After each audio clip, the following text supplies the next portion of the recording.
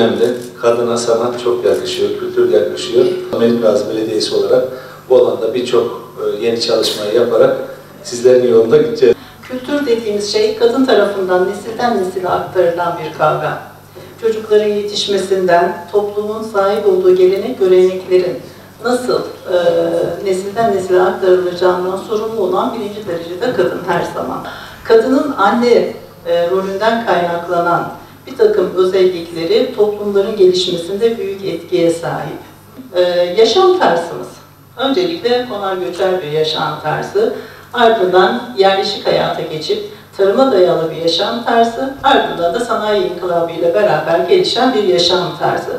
Dolayısıyla bu yaşam tarzı toplumda kadının nasıl bir rol alacağı, nasıl bir davranış içinde bulunacağını sergileyen bir ülkemizde.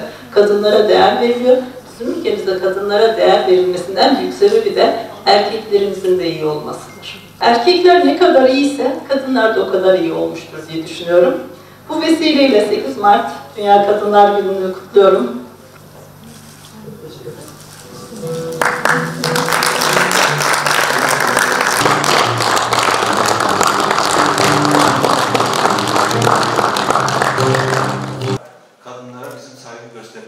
Lazım. Kadınların her yerde e, layık olduğu konumda temsil edilmesi gerekiyor. Burada emeği geçen e, resim sergimizde e, gerçekten çok güzel eserler olduğunu ben arkadaşların hazırlamış oldukları videolardan, fotoğraflardan gördüm. Dolayısıyla emeği geçenlere teşekkür ediyorum.